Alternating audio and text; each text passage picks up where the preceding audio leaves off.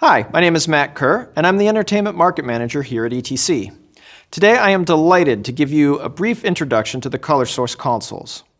Whether you're doing small ballroom corporate events or school performances in the cafeteria, the ColorSource console's hands-on operation and plug-and-play setup will make your small production a breeze. The consoles come in four models. The ColorSource 20, the ColorSource 40, the ColorSource 20AV, and finally, the ColorSource 40AV. The design is sleek and clean, without a bunch of intimidating buttons or control wheels. This makes the consoles approachable for users of all levels. All four models feature four configurable sliders at the top, a 7-inch color multi-touch touchscreen, and six soft keys, five of which can be populated based on your needs. Additionally, each model has a bank of sliders to the left, which can act as channel controls or as playbacks. The quantity of sliders varies depending on the model. The software is designed to make effective use of the repaintable touchscreen. We put commonly used functions like setting color and recording cues in easy-to-find locations, making the console simple to operate while providing the ability for users to grow with more advanced features like parameter effects, and sequence rate kept under the surface. And don't worry, if you get stuck, the onboard help system with tutorial videos will see you through. As I stated earlier, setup with this console is a snap. From a blank slate, the console discovers any RDM-capable fixtures connected to it. Once discovered, the fixtures populate and patch, and you can either enter the numbers manually or simply use the bump button under the desired slider to assign them to channels. You're up and running before you know it. Another way that we're trying to keep it simple for permanent installations is the ability to have a default show. This means anytime you start a new show, the console reverts to the patch and recordings that were set up by the technician at the time of turn on. You can also rearrange how the channel tiles are displayed on the screen to mimic how they are laid out in the room. Once you have them placed where you like, you can use the Quick Select feature to bring up groups based on the locations of the channel tiles. This is another of many new concepts that the ColorSource consoles bring to the market. Now let's take a closer look at the differences between the different models. Both the ColorSource 20 and the ColorSource 40 models have one DMX port and one USB port. The number 20 in the ColorSource name represents the number of faders to the left of the touchscreen. These faders control two pages of channels for a total of 40. Channels can either be a single dimmer or a moving light with many parameters. Similarly, the ColorSource 40 console has 40 sliders, which can control 80 channels across two pages.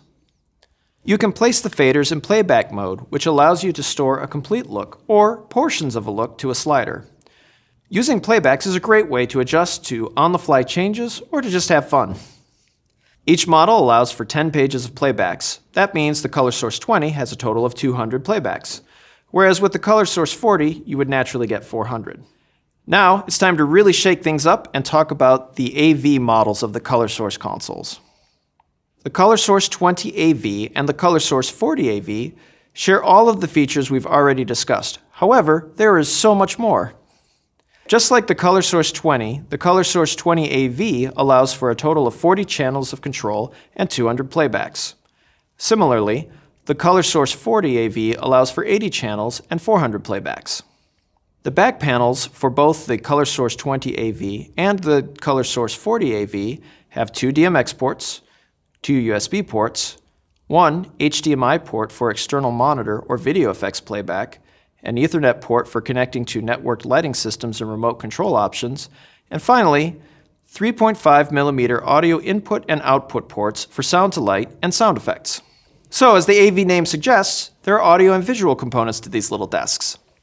Let's spend a little time with each of the three major areas of AV features audio, image playback, and the interactive video toy. First, audio. The ColorSource console has a collection of onboard sound effects which can be recorded into either playbacks or cues. This way, you can have your lightning flash and thunderclap, your TV flicker along with broadcast audio, or a very simple doorbell cue, all from the same system and triggered off of one button press or fader move. Also, if you need a break or you need to refill your beverage, you can step away from the console and let the onboard sound alike functions take over for a while. Second is image playback. The HDMI port can be connected to a video projector to show images. These images can be recorded into playbacks or cues and can be used to create a setting, flash a company logo between speeches, or display song information. There's also an option to use the video output as an external monitor. And finally, the groundbreaking video toy feature. This unique feature allows a user to create video effects on the fly by simply touching and moving your fingers around on the 7-inch touchscreen. Video Toy is just as incredibly fun at dance parties as it is when projecting patterns onto bandshells during choir performances. One last really cool feature of the ColorSource AV consoles is the Amigo networked remote. Amigo is browser-based and platform-independent. Either connect a computer to the network or use a wireless access point with a smartphone or tablet, and you'll have control.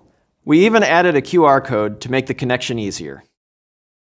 Together with ColorSource fixtures and ColorSource relays, ColorSource consoles are helping to redefine the way small systems are designed. Thank you for your attention. For more information, please visit etcconnect.com.